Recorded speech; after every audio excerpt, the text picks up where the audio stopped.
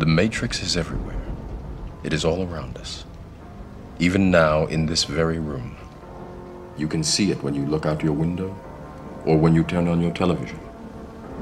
You can feel it when you go to work, when you go to church, when you pay your taxes. It is the world that has been pulled over your eyes to blind you That you are a slave like everyone else. You were born into bondage, born into a prison that you cannot smell or taste or touch. You take the blue pill, the story ends. You wake up in your bed and believe whatever you want to believe. You take the red pill, you stay in Wonderland, and I show you how deep the rabbit hole goes.